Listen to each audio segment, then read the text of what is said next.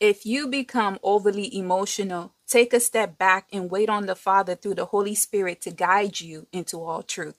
Emotions are unstable, which can lead to doubt. The piercing of the Spirit through the truth of the Most High's words will bring change. A crushed spirit will disable you.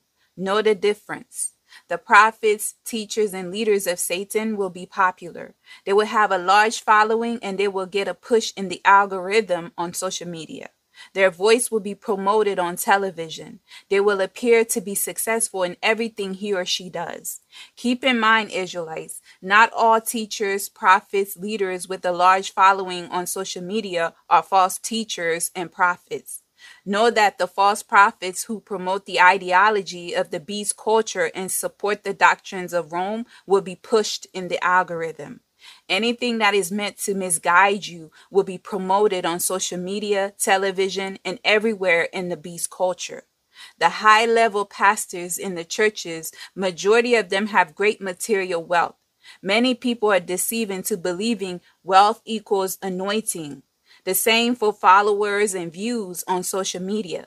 These things doesn't mean the person is anointed.